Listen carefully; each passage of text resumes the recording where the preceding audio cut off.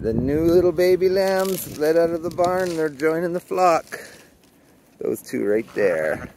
Just had them a couple days ago. And that's Magma and brand new mama.